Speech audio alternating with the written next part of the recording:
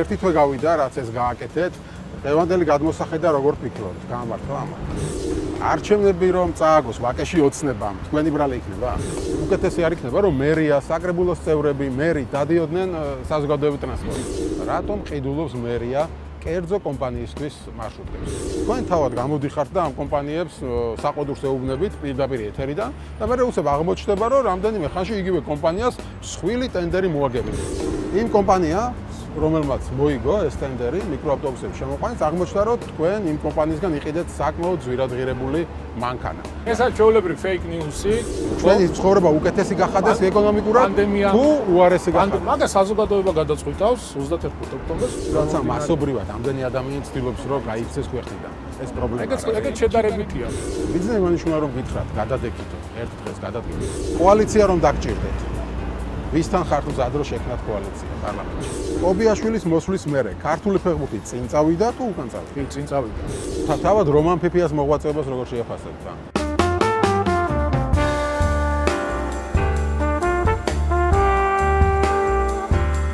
მოგესალმებით, მე ვარ ჟურნალისტი მერაბ მეტრეველი და ეს არის გადაცემა პოლიტქალაქი. როგორც ხედავთ, ჩვენ ვიმყოფებით ჭავჭავაძის გამზირზე და ალბათ უკვე თავადაც ხვდებით თუ ვინ იქნება ჩვენი დღევანდელი გადაცემის სტუმარი. ეს იქნება ადამიანი, ვის სახელსაც უკავშირდება ჭავჭავაძის ახალი სახე და ის პროექტი, რომელმაც ბოლო დროს ყველაზე დიდი ასთა სხვადასხვაობა და კამათი გამოიწვია. დღეს ჩვენი გადაცემის სტუმარი იქნება ადამიანი, ვინც ქართულ პოლიტიკაში სპორტიდან მოვიდა და შეიძლება ითქვას, რომ ერთადერთი სპორტსმენია, რომელმაც მოახერხა, რომ შემდგარიყო პოლიტიკოსად. თუ როგორ პოლიტიკოსად ამის განჯას მე არ შეუდგები ეს, თქვენ ხალხმა გადაწყვიტეთ. მაშასე დღეს ჩვენი სტუმარია თბილისის მერი კახა კალაძე. გამარჯობა ბატონო კახა. გამარჯობა. მადლობა გადაცემაში მონაწილეობისთვის.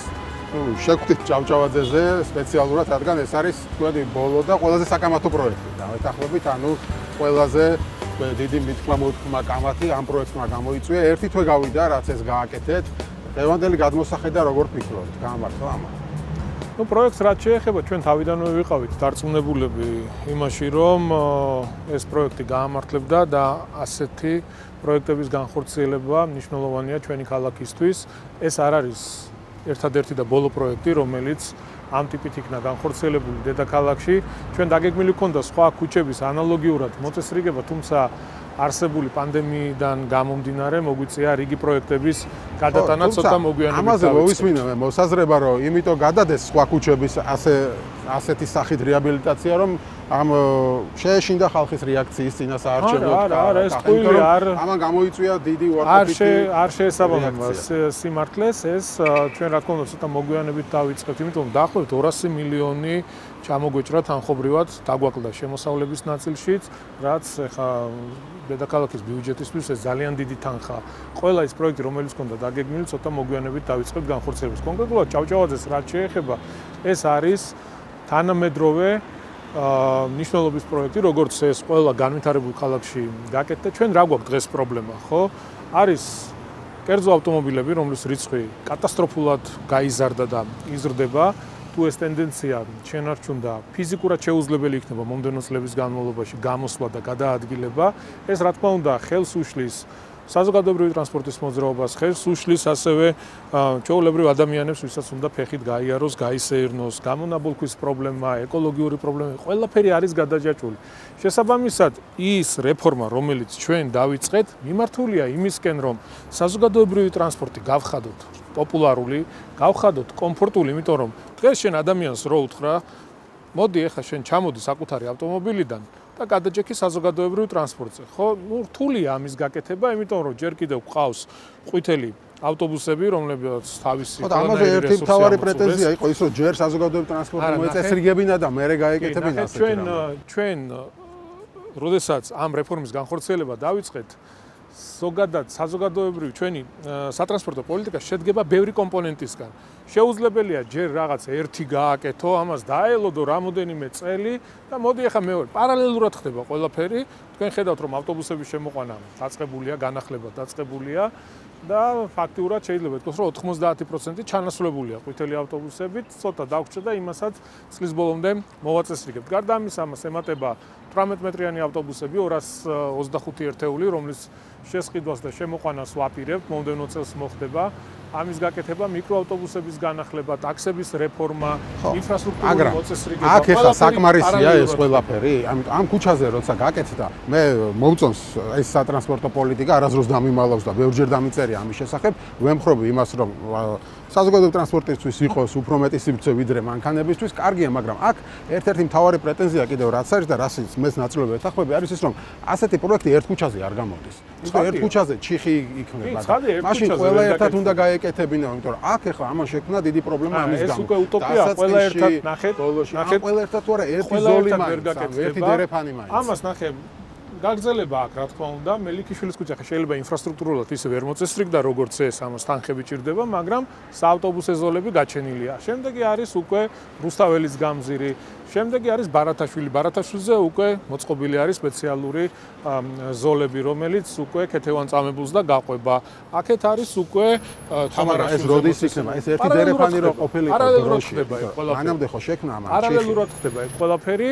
შეიძლება კიდევ ერთხელ მინდა ამას ხაზი გაუსვა. ინფრასტრუქტურულად როგორც ჭავჭავაძე მოვაწესრიგეთ და რა ვიცი ერთ-ერთი ულამაზესი გამზირი გამოვიდა ასე შეიძლება დღეს ვერ გავაკეთოთ ყველა შემდეგი ეს დერეფანი ხო შეიძლება გაკეთდეს დერეფანი კეთდება და ეს პროცესია მიდის ჩაულებრივად და როდის დასრულდება აა ესე იგი მელიქიშვილის დახაზვა და საავტობუსო ზოლების გაჩენა უკვე გაკეთებულია გარკვეულ ნაწილზე. შემდეგი არის რუსთაველი ბარათაშვილზე გაკეთებულია, კეთევან წამებული კეთდება, თამარაშვილი გაკეთება, ну პროცესია შეულებრივად გრძელდება. ხო, გასაგებია, მაგრამ ვიდრე ეს დერეფანი გამართება, ხალხი ამას შეეჩვევა, თქვენ ნახეთ რომ ბევრი უკმაყოფილება იყო, ალბათ სოციალურ ქსელშიც ნახეთ. საკუთრებით პირველ დღეებში. კი ბატონო. და ну დღესაც მე რასაც ვკითხულობ, ვაკელები, ну ბევრი არის მაინც უკმაყოფილება, იმიტომ რომ ზედა ქუჩებზე საცობი შექმნა, აკაც საცობი ხდება ვამბობენ და ანუ უფრო გაგვირთულა ამან ცხოვრება. ეს ყველაფერი მიმართულია იმისკენ, რომ ჩვენ ეტაპობრივად ვარი ვთქვათ კერძო ავტომობილზე ადამიანი რასაკეთებდა ხო ვისაც პატარა ფინანსური შესაძლებლობა გაუჩნდა შემთხვევითი არ არის ის რომ 2012 წლამდე 180000-მდე კერძო ავტომობილი გადაადგილდებოდა დედაქალაქში 2020 წელს 650000-ზე მეტი კერძო ავტომობილი გადაადგილდება ყოველწლიურად ზრდა შემოყვანა კერძო ავტომობილების იყო დაახლოებით 7% და ამ ტენდენციის შენარჩუნება იქნებოდა კატასტროფა ჩვენი ქალაქისთვის. ან უნდა გადავიდეთ საზოგადოებრივ ტრანსპორტში. ეტაპობრივად, რა თქმა უნდა, ამას ჭირდება გარკვეული დრო, უცებ ესე ხო ყველაფერი შეუძლებელია მოგვარდეს და მოწესრიგდეს. გარკვეული დისკომფორტი არის. მე ამაზე სხვათა შორის ხო და აი დისკომფორტის გამო როგორ ფიქრობთ არჩევნები რომ წააგოს ვაკეში ოცნებამ თქვენი ბრალი იქნება? მე კიდევ ერთხელ ვიმეორებ, ის რასაც ვაკეთებთ ჩვენ, ეს არ არის მიმართული არჩევნებისკენ. ჩვენი გადადგმული ნაბიჯები, განხორციელებული რეფორმები მიმართულია მიმართულია იმისკენ, რომ გავაკეთოთ სწორი პროექტები, რომ ვიზრუნოთ მომავალზე, ჩვენ ერთი დღით არ ცხოვრობთ, ჩვენ ვზრუნავთ ჩვენს ქალაქზე და გვინდა რომ ეტაპობრივად ის პრობლემები, რომელიც გვაქვს დღეს, შემდეგი წლების განმავლობაში იყოს მოგვარებული და მოწესრიგებული. არჩევნებს რაც შეეხება, თუ ვაკეში წააგებს ოცნება. არჩევნებს რაც შეეხება, არჩევნებს რაც შეეხება, აი პირობას გაძლევთ არა მარტო ვაკეში. კლიანად საქართველოს მასშტაბით დღეს ერთადერთი პოლიტიკური გუნდი, რომელსაც აქვს რეალური შანსი 60% აიღოს, ეს არის პარტია ქართული დემოკრატია. ვაკეში პირველი ტურში დამთავრდება არჩევნები. კარგი, და ამ თემაზე თქვენ ხშირად ახსენეთ, ახსენებთ საზოგადოებრივ ტრანსპორტს და კიდევ ერთხელ ვიმეორებ ამას ვეთანხმები, მაგრამ როცა მე ასეთ არაპოპულარულ რეფორმას აკეთებს, როცა ხალხს მოუწოდებს საზოგადოებრივ ტრანსპორტით გზავრობისკენ, თვითონ რატომ არ აძლევს ამის მაგალითს?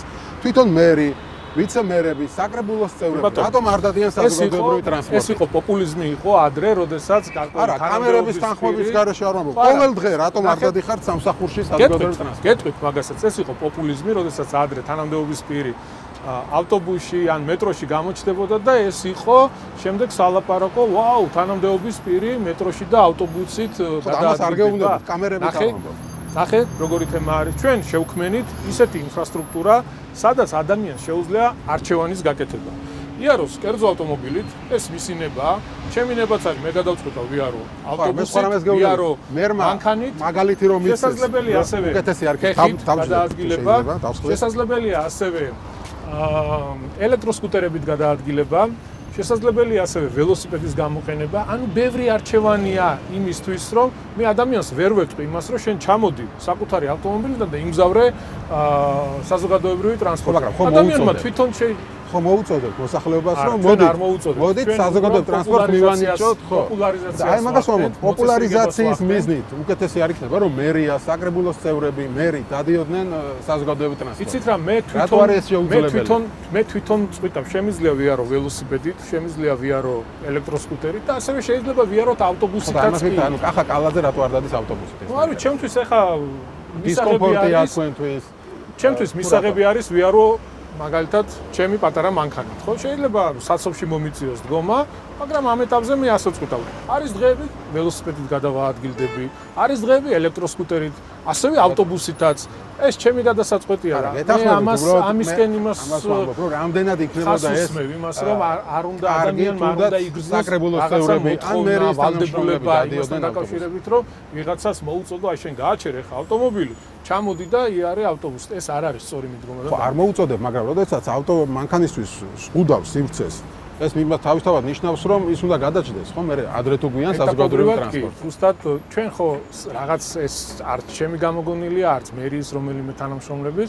ჩვენ გვყავს სოფლიოში საუკეთესო კომპანიები ვინც ამ მიმართულებით მუშაობს და ახალი ველოსიპედის გამოგონებას ნამდვილად არ ვაპირებ და ვერ გამოვიგებ. ყველა განვითარებულმა დიდმა ქალაქმა ანალოგიური რეფორმები განახორციელა. მე რა თქმა უნდა, ისიც მესმის ახლა ის ხო არა ვარ, ხო? თავად მე ჩემი ავტომობილით გადავდი. გარკვეული დისკომფორტი წარმოადგენს, მაგრამ ჩვენ ხო წინ ვიყურებით. ამიტომ გვინდა რომ მომდენო წლების განმავლობაში ეს თემა მოვაგვაროთ და მოვაწესო. მე მაინც დავიტოვებ იმედს რომ ერთ დღეს ვიხილავ მერს როგორ დადის ის ყოველდღიურად სამსახურში საზოგადოებრივ ტრანსპორტში. იმიტომ ჩვენ გვინახავს ყველა სხვა შეიძლება ველოსიპედით ვიარო, შეიძლება მოტოციკლეტით ვიარო. ეგ არ უნდა ეგ არის პოპულიზმი ჩვეულებრივი კიდევ ერთხელ აღვნიშნო. თუ კამერების თანხლები დადიხარ კი. თუ გინდა ისეც ადამიანი თვითონ იღებს გადაწყვეტილებას რითი იაროს. ეს არ არის. რამდენიმე მით უმეტეს რომ მაშინ როცა ჩვენ ფაქტურად ისეთ საზოგადოებრივი ტრანსპორტი გვეყოლება, რომელიც, რავი, შეიძლება ევროპაში დავითრაბახოთ ერთ-ერთი საუკეთესო ახალი მარშრუტკები როდიდან აღარ ივლის ასეთ გამზირებზე. მარშრუტკებს რაც შეეხება ამ მიმართულებითაც გვაქვს ჩვენ რეფორმები დაწყებული, დაახლოებით 3000 მარშრუტკა ემსახურებოდა თბილისს, თუმცა ჩვენი მიდგომებით 1200-მდე მარშრუტკის საჭიროება იქნება ამ მიკროავტობუსების რომ იმოძრაოს დედაქალაქში. საერთოდ ფიქრობთ იმაზე, რომ კლიენტად გაგვეუქმებინა ეს მიმართულა, მიმართულება, თუმცა კვლევებით გამოვლინდა, რომ სამწუხაროდ გვაქვს ისეთი უბნები, ისეთი ქუჩები, სადაც 8, 10, 12 მეტრიანი ავტობუსის გადაადგილება გაბარიტებიდან, ქუჩების სივიწროვედან გამომდინარე შეიძლება წარმოადგენდეს პრობლემას. ამიტომ გადაწყვეტილება იქნა მიღებული მოდელირება, როდესაც გაკეთდა, რომ ეს მიკროავტობუსები, ავტობუსები და მეტრო თანხმედრაში მოვა ერთმანეთთან, რომ ანუ ცენტრალურ გამზირებზე აღარ ივლია, ხო, როგორც მე. ხა ზუსტად არ ვიცი კონკრეტულად ქუჩების დასახელება გამიჭirdება, თუმცა შემცირდება. შემცირდა გაცილებით. 1200-მდე დარჩება. მაგრამ აქ ერთ-ერთი მთავარი კითხვა, რომელიც გაჩადა მეც მაქვს, ეს არის რატომ ყიდულობს მერია კერძო კომპანიისთვის მარშრუტკებს. ანუ ბიუჯეტის ფულს, ხალხის ფულს რატო ხარჯავთ კერძო, ის ხო კერძო ბიზნესია. კი, მაგასაც მოგება უნდა ნახოს. კი, გეტყვით, ჩვენ ბიუჯეტიდან ვიდულობ შესყიდვა, იმიტომ რომ რა თქმა უნდა ჩვენ ამ ფულს დავიბრუნებთ. პრო კომპანიას, რომელსაც 2030 წლამდე აქ ჯერ კიდევ ძველი ხელშეკრულება არის გაფორმებული, ამ ხელშეკრულების ფარგლებში სერიოზული პრობლემები აქვს ფინანსური, ჩვენ ბანკებთანაც დავეხმარეთ ქონდა კონსულტაციები, ურთიერთობები და გადაწყვეტილება მივიღეთ, რადგან აუცილებელი იყო ავტობუსების შემოყვანა მიკროავტობუსების მოხსნებობაში, იმიტომ რომ ძალიან ბევრი ადამიანი სარგებლობს ყოველდღიურად. ეს გადაწყვეტილება მივიღეთ და მომდევნო წელს 2021-22 წელს კომპანიას აკვალდებულება ეს ავტობუსები ჩვენგან გამოისხოთ. ან ჩვენ მივიღეთ. მაგრამ როგორც ვიცი, იქ წერია თუ მოგება ექნებაო და თუ მოგება არ ექნება? არა, ექნება. ჩვენ ისე დავალაგეთ და ისე დავეხმარეთ ბანკებთან, იქ რესტრუქტურიზაცია გაკეთდა, ის სესხი რაც ჰქონდათ გაკეთებული, აქ ეხა ჩვენ ინტერესი იყო, იმიტომ რომ ქალაქში ავტობუსებით, მიკროავტობუსებით იცით როგორ გამოვიდი ხა წარმოვიდგინოთ სხვა ბიზნესმენი სიტყვის რომ კი მაგრამ მეც თუ მიყიდის მერია მარშრუტკებს მეც გავაკეთებ ესეთ ბიზნესს ხო? აი რატო უყიდეს ვიღაცას? ნახეთ ხელშეკრულება არის გაფორმებული 2030 წლამდე ჩვენ ხა არსებული მარშრუტკები რაც დადის ამით რომ მოემსახუროს ქალაქს არანაირი ხელმოსაკიდებელი არ აქვს რომ ეს კომპანია გავაგდოთ ან თავიდან სიტი პარკი ხო გაუშვით ბატონო სიტი პარკი ხო გაუშვით სიტი პარკი ჩვენ მქონდა სერიოზული ხელმოსაკიდებელი მქონდა თორე სერიოზულ პრობლემას გამოიწვევდა მაგაზე დადებული იყო ერთ-ერთი დიდი ოთხეულიდან თუ არ ვწდები დასკმა იყო დადებული იმასთან დაკავშირებით რომ ამ ხელშეკრულებასთან თუმცა მან ყველაზე დიდი ხელმოსაკეთი ჩვენ რაც გქონდა არასწორად წერდა ჯარიმებს ამის ძალიან ბევრი მაგალითი იყო დაგროვებული და ეს იყო ჩვენთვის ხელმოსაკიდებელი და აქ მარშრუტკებთან დაკავშირებით ასეთი არაფერი არ არის ვერაფერი ვერაფერი მიკროავტობუსთან სამწუხაროდ ვერაფერი კარგით, კიდევ ერთ-ერთი პრეტენზია თქვენს მიერ არის ტენდერებთან დაკავშირებით. ნუ უფრო სწორად ისეთ კომპანიებზე, რომლებიც სადღაც რომელიღაც ქუჩაზე დროზე ვერ აკეთებენ, ან ცუდად აკეთებენ, თქვენ თავად გამოდიხართ და ამ კომპანიებს საყოდურს ეუბნებით პირდაპირ ეთერიდან და მე უცებ აღმოჩნდება, რომ რამდენიმე ხანში იგივე კომპანიას მსხვილი ტენდერი მოაგებინეთ. და აი აქ ოპოზიციას და ბევრს უჩნდება კორუფციაზე ეჭვი, იმიტომ თუ უკმაყოფილო ხარ, ვერ გააკეთა, დროზე არ ჩაგაბარა, თავიდან ამ კომპანიას რატო ვაგებინებთ ამ ტექს? ხო, ნახეთ, ჯერ ერთი არც მერია და არც კალაძე არავის არაფერს არ აგებინებს, ამას ხაზი მინდა გაუსვა, ეს ხდება ტენდერის საფუძველზე. შესაბამისად, ასევე ტენდერის შინაარსი სანამ გამოცხადდება, ეს თანხდება შესყიდვების სააგენტოს და რომელიც აბსოლუტურად დამოუკიდებელი ორგანო არის და მერიასთან მან არანაირი კავშირი არ აქვს. რაც შეეხება კომპანიას, ვინც შესრულებულ სამუშაოში აქვს გარკვეული ხარვეზები და აქტიურად ყველა შესრულებულ სამუშაოზე შეიძლება გამოიგონოს ხარვეზები. ეს შეუულებრივი პროცესია, ნორმალური. არ მარტო ხარვეზი არ არის, თქვენ გამოხვედით და საყოდური თქვით მაგალითად დაგვიანებაზე ასე შემდეგ. აი მაგალითად იგივე ქელბაქიანების კომპანიაზე საუბრობენ რომ რაღაც განსაკუთრებული ურთიერთობა აქვს. მე მე პასუხისგებელი ვარ, როდესაც აქვს ხელშეკრულებით მითითებული გარკვეული ვადა ის ვალდებულია დაამთავროს, როდესაც ის არ ამთავრებს ხელშეკრულებაში გაწერილია ის ჯარიმები და ჩვენ არავის არაფერი არ გვიპატიებია. მინდა მოიყვანო აეროპორტის სათადარიგო გზის რეაბილიტაცია, რომელიც გაკეთდა და შემდეგ ხარვეზები ქონდა. და როგორ ვფიქრობ, იმ ხარვეზების გამოსწორებაში მერიამ რამე დახარჯა? ის კომპანია დავალდებულეთ იგივე ხელშეკრულებით, რომ ის ხარვეზები გამოსწორებს. როცა დროზე ვერასრულებს და ძალიან დიდი დროთი გადააჭარბა. ჯარიმები, რა თქმა უნდა, ჯარიმები. და მაგრამ მე მაინც ისე ვამ კომპანია, ხო და რატომ ისე ვამ კომპანიას ამას? პრობლემა გვაქვს ზოგადად სამშობლო ტენდერს, ასეთ კომპანიას რატო აძლევთ? ჩვენ არ ვაძლევთ ეს თუ კომპანიას აქვს ისეთი დარღვევა. შეიძლება შავსიაში შეიყვანოს მაგალითად. აი, ზუსტად მანდარის თუ კომპანიას აქვს ისეთი დარღვევა, რომ მას არ აქვს უფლება მიიღოს მონაწილეობა ტენდერში, ეგეთი კომპანია ვერ მიიღებს მონაწილეობას. მერწმუნეთ და ძალიან ბევრი კომპანია ყავს გაშავებული, რომლებმაც სერიოზული პრობლემები შექმნა, დაიწყეს სამუშაოები, მიატოვეს, არ დაასრულეს, ბევრი გვაქვს ეგეთი და შემიძლია ინფორმაციაც მოგაწოდოთ ამ კომპანიებთან დაკავშირებით. მე ვახსენ ერთ-ერთი კომპანია, რომლებიც არის კელბაკიანების, რომლებიც მაგალითად გააკეთეს ზაგესის ხიდი იქ ჩავარდა ერთხელ. ეხლა მე გდანის მაგაზ რეაბილიტაცია ხიდი არ ჩავარდნილა. ან ხიდის გვერდით ჩავარდა. ინფორმაცია fake news-ი, ხიდის გერმანია კი ჩავარდა არმანია იქ მე საარჩევნო კამპანიისთვის უმზადებოდი და პირდაპირ მე ვიყავი როდესაც იქ ადგილზე მივედი და ვაჩავარდა ადგილი ინფორმაცია ხიდან მისასვლელი გზა იყო და გზა ჩავარდა ეხლა იგივე კომპანიას მიეცი გდანი და გდანშიც ჩავარდა გზა ჩაუვარდათ ასევე მოხდა ეს მანდი იყო სანიაღვრე სამსახურის ხარვეზები იყო, მაგაზე მოკლევა დაწყებული არის. ამას მოყვა შესაბამისი რეაგირება. ეხლა უნდა ვიყო გულწრფელი და ვთქვა, რომ აქ ეხლა საგზაო კომპანია არაფერს ვაში არ იყო რა. იყო კონკრეტულად სანიაღრის სამსახურის პრობლემა აღნიშნულ მონაკვეთზე. თან ასევე არ დაგვაუწყდეს რომ იყო სტიქია წყალუხობა სერიოზული პრობლემა შეუქმნა სანიაღრის სისტემას და ამის მაშინვე გამოსწორება მოხდა რამდენიმე დღეში. მაგაშორის განშიც გააკეთეთ ანალოგიური პროექტი მაგრამ ბოლომდე არ მივიდა ჯერჯერობით და რატომ?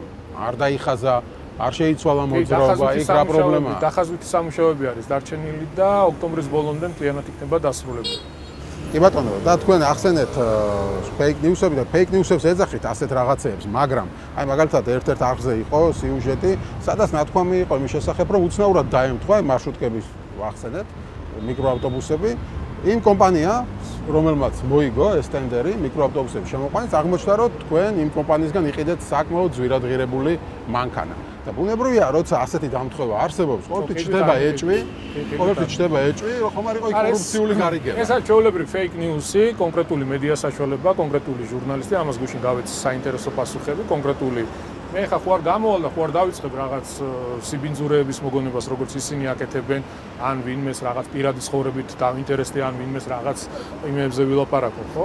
მე ვსაუბრობ ხოლმე ხოლმე საბუთები კონკრეტიკი. არა, თქვენ ხართ საჯარო პირი და ბუნებრივია თბილისის მერის ქონება რომ იზრდება საიდან არის, როგორ არის, ეს ყველა კითხვა ჩდება. მე მაგ 6 მილიონი იყო ჩემი ხელფასი წლის განმავლობაში.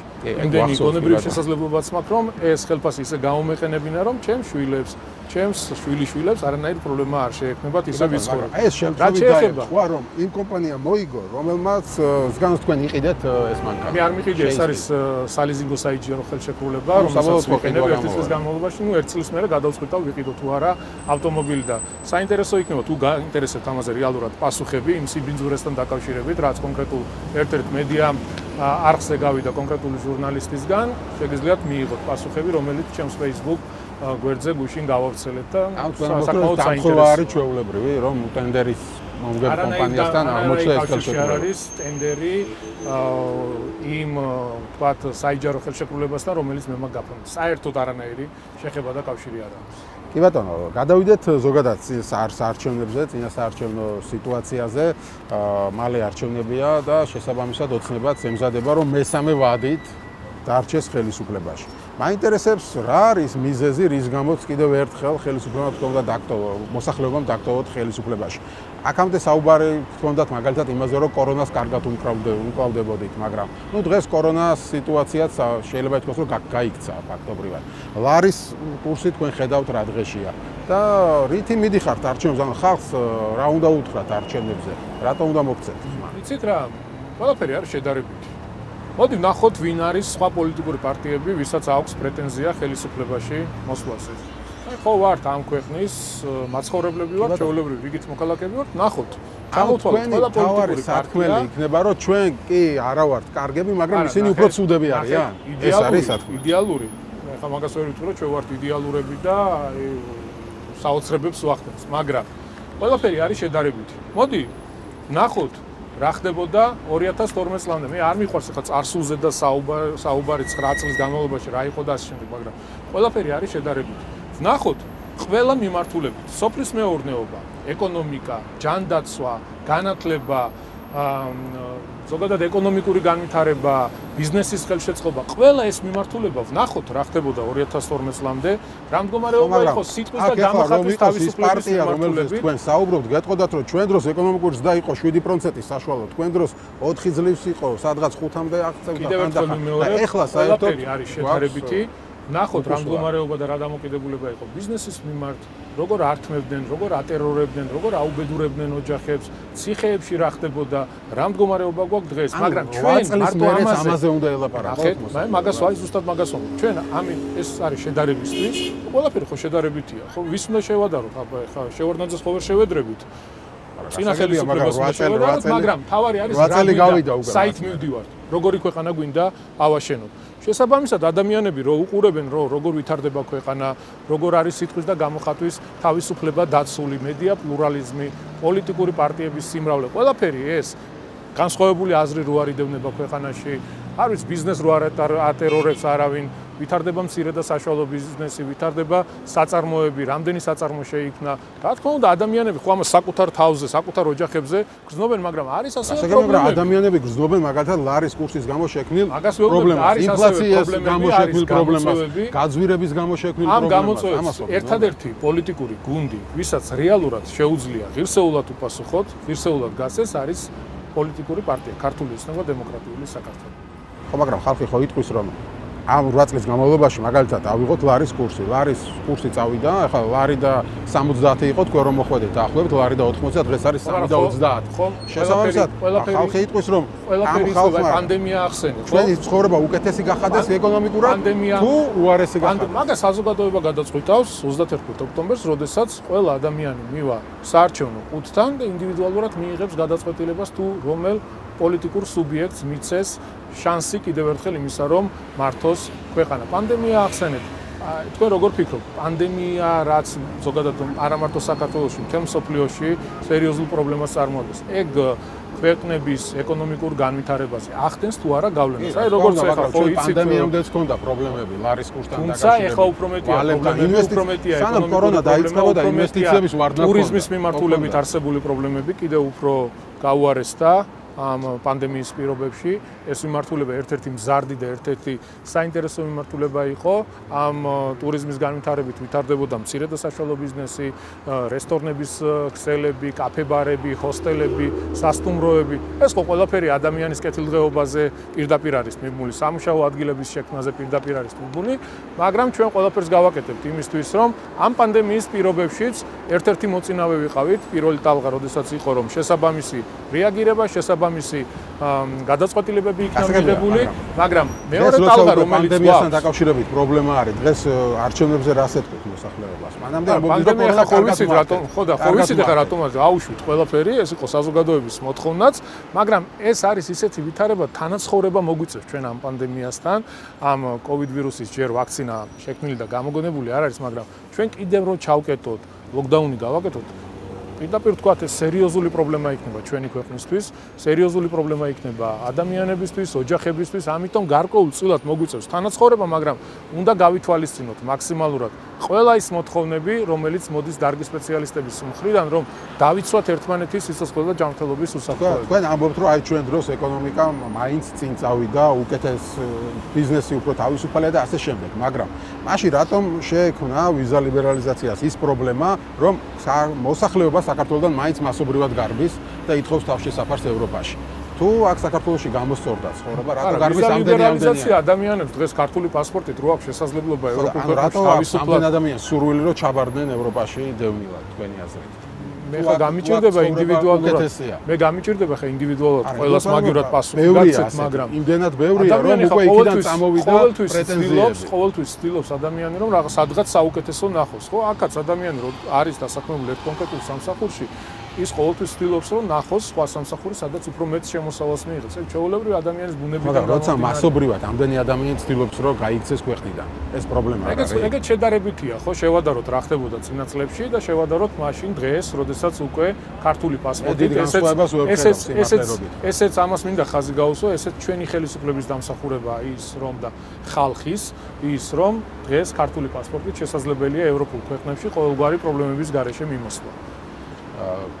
კიდევ ერთი საკითხი ეს არის თვითმართველობის თემაზე მინდა უსვათ კითხოთ მინდა თქვენ ხართ ქალაქის მერი და ჩვენ ბოლო პერიოდში ნახეთ რომ ხალხის მიერ არჩეული ქალაქის რამდენიმე მერი გადადგა. ბოლოს ეს იყო ბათუმის მერი. ეს რამდენად უწყობს ხელს თვითმართველობის განვითარებას თქვენი აზრით?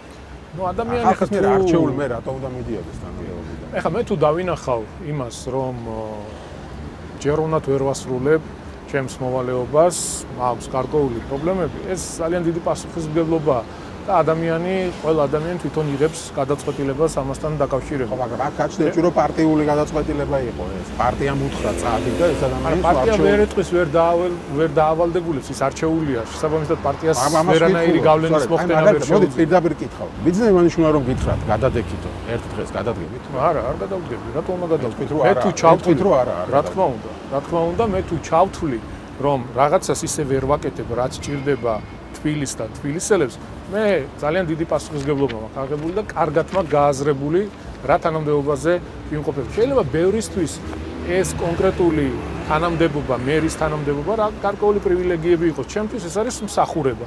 ჩემთვის და ჩემი თანაგუნდელებისთვის ემსახურო ხალხი. ამიტომ ბევრჯერ გაგიწევიათ ბიზნესთვის წინააღმდეგობა. კი, რა თქმა უნდა, როდესაც გვაქვს მსჯელობა გუნჩი, ჩემს საქმეს ყოველთვის ვამბობ. შეგიძლიათ რაიმე საკითხი რომ ну არ ვიცი ხა პოლიტიკური პროცესებიდან გამომდინარე ყოფილა ეგეთი თემა ჩვენ არ გვაქვს არანაირი პრობლემა მაგასთან და რატო გონიათ რომ თუ პარტიის თავმჯდომარე იტყვის რაღაცას ის აუცილებლად უნდა შესრულდეს ან აუცილებლად. არ არის ეგ დამოკიდებულება და ქვეყანაში წავიდნენ ძალიან უცნაურად ხო? და ბოლოს პირდაპირ თქვა კვირიკაშვილზე ბატონმა ბიძინამ რომ ეჭვი გამიშა რომ ჩემს ტელეფონსაც აღარ უპასუხებდაო. ანუ რაღაც პრობლემა შეიქმნა არ პასუხობდაო. ხო და შესაბამისად გამოდის რომ ბიძინა რომ ერთ პრემიერ-მინისტრს გადადექიო მიდის არა ხაზი გაუსვა მაგით არ პასუხობდაო რომ იმდენად გამოუკიდებელი იყო და ეს ხო და ამიტომ შეეწირა ჩაულებრივი ჩაულებრივი ის არის ხო? არა ეგ გიორგი რატო გადადგა ამასთან დაკავშირებით გამო მაგის ვის ჯერა მეორე საკითხი ახლა მაგ ოფიციალური რამდენიმე კითხვა დამჩავე ცოტა დრო გვაქვს ამიტომ მინდა რომ მოვასწრო. კოალიცია რომ დაგჭირდეთ? ვისთან ხართ მზად რომ შექმნათ კოალიცია პარლამენტში? მოდი თეორიებზე მეტყვით რომ ჩვენ მოვიდეთ მაგრამ არა გეგმა ხო შეიძლება არსებობს. ნახეთ თეორიებით რო არ ვილაპარაკოთ რა რაღაცა ხო არის ყველა აკეთებს გამოკვლევას კვლევების სტომილება არის 3-4%, ხო? ეს მეთოდოლოგია მთელ სოფლიოში მარტო საქართველოს ხო არ კეთდება ეს, ხო? დღეს პარტია ქართულ ოცნება დემოკრატიული საქართველოს გავიგე მე იმ ხელა თეორიულად ამ შემთხვევაში თუ მოხდა ხო არსებობს თუ გექნება გეგმები არ გა თუ მოხდა შემდეგ განვიხილავთ ამას არსებობს რომელიც აუცილებლობა იქნება აუცილებლობა იქნება ეხლა რა თქმა უნდა კოალიცია აი თქვენი აზრი თქვენი არჩევანი რომ იყოს მისთან შეკრება ნახეთ დამოკიდებულია იმაზე საზოგადოება ვის დაუჭერს მხარს და ვინ იქნება ის სხვა პარტიები რომლებიც შემოვა კოალიცია. ნაციონალური მოძრაობა, ევროპული საქართველო, ლელო, პატრიოტა ალიანსი, ეს პარტიები ძირითადად. დღეს დღეს რადიკალურად განსხვავებული სურათი გო. კვლევებიც აჩვენებს ამას და გაველოდოთ არჩევნებს. მე ჩემი გადმოსახედიდან, ჩემი გრძნობელობიდან გეუბნებით ყოველდღიურად, რა ვიცი, ძალიან ბევრ ადამიანს ვხვდები, სუქუჩაში ვარ ფაქტიურად. იმ კვლევებიდან გამომდინარე, ამას ვამბობ, რომ დღეს პარტია ქართულ ოცნება დემოკრატიულ საქართველოს აქვს იმის შანსი, რომ კოალიციის გარეშე ძალიან დიდი უმრავლესობით მოვიდეს საქართველოს პარლამენტში. აქვს 60%-იანი მხარდაჭერა არსებული კვლევით, თუმცა ყველაფერი დამოკიდებულია საზოგადოებაზე. საზოგადოებაზე არის დამოკიდებული ასევე ის, ვინ იქნება სხვა პარტიები, ვისაც მხარს დაუჭერს და შევლენ პარლამენტში. ამჯერა რომ არ უფიქრია ოცნებას, თუ ვინიცობა ასე მოხდა, ვისთან შეიძლება კოალიციის გარეშე. არა, ეგ ხო არის თეორიული თეორიული ისინია, ხო და ჩვენ ხო რეალობიდან რეალობიდან გამომდივართ. დღევანდელი რეალობიდან გამომდინარე, ამის საჭიროება არ დგას. თუ ამის საჭიროება დადგება, გამოკიდებული იქნება ასევე ვინ იქნება, ვინ იქნება სხვა კონკრეტული პოლიტიკური პარტია. ბოლო კითხვა მინდა დავსვა და ამით ამ საკითხით დავასრულოთ, არ შემიძლია რომ არ კითხოთ, იმიტომ რომ აი აგერ ხუთშაბათს მოხდა ეს მოვლენა, რომ ფილისის გუნდ დინამომ 6-ით 1 წააგო ფარერების გუნდთან. შესაბამისად, თქვენ როგორც ყოფილ ფეხბურთელს, ადამიანს რომლის გუნდიც მოვიდა ფეხბურთის ფედერაციის სათავეში და მიმაჩნია რომ ის არჩევნებიც არ იყო თქვა სამართლიანი. როგორ ფიქრობთ მას შემდეგ რაც კობიაშვილი მოვიდა ხელი არჩევნები რატო არ იყო სამართლიანი? ამაზე ვისაუბრეთ იმ დღეს დაიჭირეთ ადამიანი დაიჭირეთ ადამიანი და ასე თუმცა ის გამოუშვეს ის გამოუშვეს ის რაღაცისთვის დაიჭირეთ ნახეთ მე რაღაც აველაძესთან საუბრეთ სიმართლე სიმართლე ხო უნდა ითქოს რატო რატო არ გინდათ რომ რაღაცებს აუაროთ გვერდი? რატო გინდათ რომ აუაროთ არ მინდოდა ხა საკითხის ბოლო გახსენ მოდით რაღაცას ვისაუბრეთ იმიტომ იმიტომ შეგაწყვეტინეთ რომ რო ამბობთ კითხვა დავსვი რატო ხო და ეს სამართლიანი იყო დელეგატი არჩევნების დღეს დაიჭირა სუსმა ნარკოტიკების მოხმარების გამო. იმ დღეს იმ დღეს მაინც და მაინც ხო გამოუშვეს მე ხო მოვიდა ხო გახსოვს ჩანაწერი ხო სადაც თქვენ ელაპარაკებოდით ფაქტობრივად ევაჭრე იქ იყო ჩანაწერი ხო ზუსტად თქვენ შეიძლება არ იყავით მაგრამ იყო არველაძესთან ვაჭრობა რომ აი გამოუშვებთ ამ ადამიანს და ასე შემდეგ. აი ეგეთ ჩანაწერი არ არსებობს არ არსებობს ეგეთ ჩანაწერი კვილია თქვა ეხლა ზუსტად არ ვერ მიხსენებ ვიდეო ლაპარაკებოდა მაგრამ ეს ჩანაწერი იყო. სლუცკის ლაპარაკებო თუ რა გვარი სურკის სურკის სურკისთან სურკისთან ერთად დაჭერა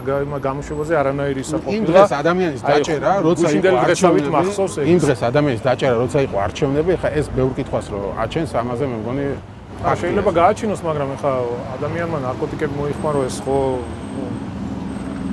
გავიგე, მაგრამ ნუ მაინც და მაინც იმ დღეს რატო აღმოაჩინეს? თამაში თამაში რა შეხება რა? კითხვა, მარტო თამაში არ მაინტერესებს.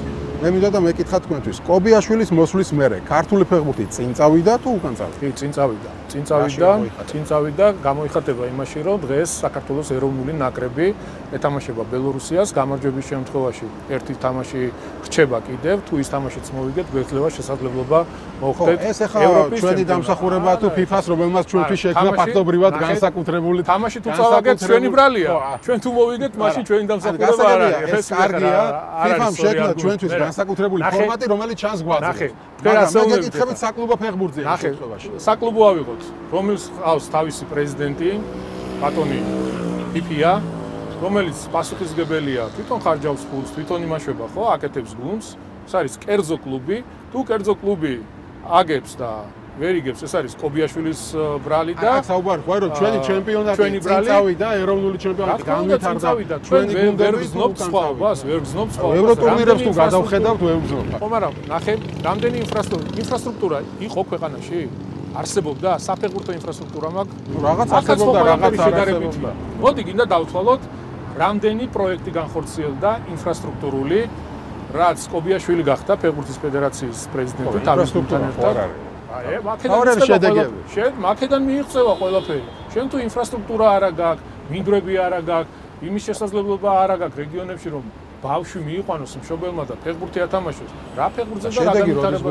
შედეგი თუ ფიაფარერებთან 6-1-ზე წავაგებს. შედეგი შეიძლება ვთქვათ, როდესაც საქართველოს ნაკრები მოხდება ევროპაზე ან სოფლიო ჩემპიონატზე და დღეს ამის რეალური შანსი და შესაძლებლობა იქნება. და რა შეიძლება ხა ფარერებთან წაგებას ნუ არ ვიცი იყო სამარცხვინო უბრალოდ რომ ამ ხელა ანგარიში თბილისის დინამო ამ ხელა ისტორიის გუნდი. მე არ ვიცი ხა ფეხბურთელებს რა დამოკიდებულება აქვს ვინც ამ გუნდში თამაშობს. ან ისტორიას გადახედონ ან ის ნახონ ვინ თამაშობდა ამ კლუბში რომელი ფეხბურთელები იყო და არის ცოტა სხვა მიდგომებია საჭირო სხვა დამოკიდებულება საჭირო თან მარტო თბილისის დინამო ხო არა ქვეყანას არ მოადგენ. ხო პირველი გუნდი ხარ საქართველოსში და რა ვიცი. თავად რომან ფიფიას მოღვაწეობას როგორ შეაფასებდა აი არ ვიცი. ძალიან ცუდად. ნუ ამ ადამიანს ნუ არ ვიცი ხომ პიროვნულად არანაირი ის არა მაქვს. უბრალოდ აი ფეხბურთიდან გამომდინარე ვამბობ რომ ძალიან სუსტი მენეჯერი.